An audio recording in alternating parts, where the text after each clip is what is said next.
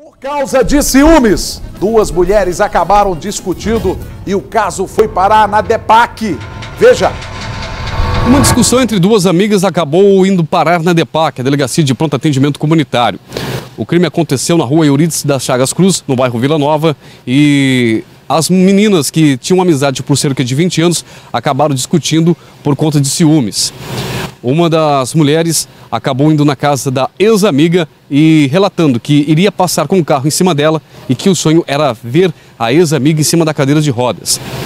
A ex-amiga de 34 anos, vítima das ameaças, relatou na delegacia que as ameaças vêm acontecendo há cerca de um ano. E isso tudo por conta de ciúmes, que a amiga não aceita a ex-colega ter um relacionamento e que provavelmente está fantasiando algo na cabeça por ter ciúme do marido. Agora, o caso será investigado na primeira delegacia de Polícia Civil.